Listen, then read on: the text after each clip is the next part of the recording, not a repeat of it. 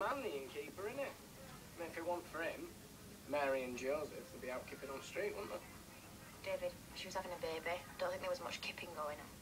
Yeah, fair point. Go on then, let's say this one line. I'm sorry, but there's no room. Then I just closed the door. That was great, wasn't it? See you that, innkeeper. Listen, mate, just have a word with him and tell him to beef it up a bit. It's gonna be rubbish. Have you heard this? Your son is encouraging your grandson to complain about his lines in the school facility. Well, why do you think he always ended up the back end of the donkey? Out of sight, out of trouble, they reckon.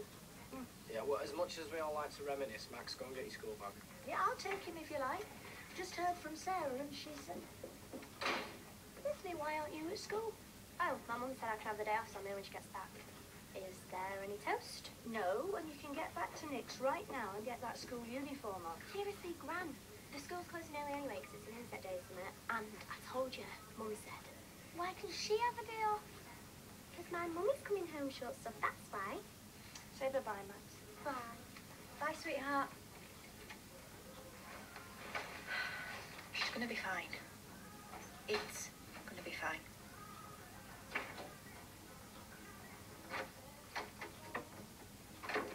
Aidan?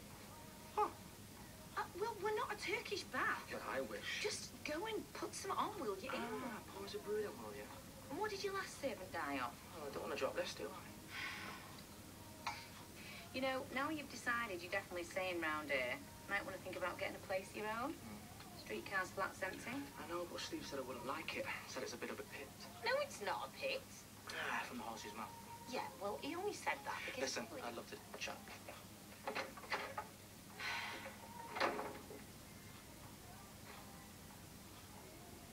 Yeah, well, you knew I had to be at work. For goodness sake, another ten minutes is not going to make any difference to Brenda. She'll be hanging around anyway. Well, not because of me. Yeah, because you don't want to bump into her husband before he goes to work. Anyway, if you didn't need your sleep, you would have woken up, wouldn't you? Well, in future, I'll set the alarm, okay? Well, suit yourself. But just for the record, the reason I didn't wait was because I thought you were doing too much. What with work, going round to Dean, I thought you needed a rest.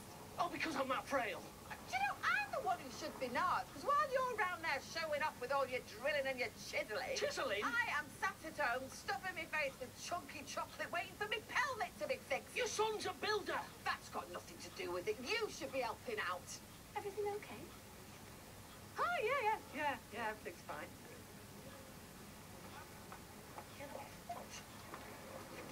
Janet, that's the thing about getting old.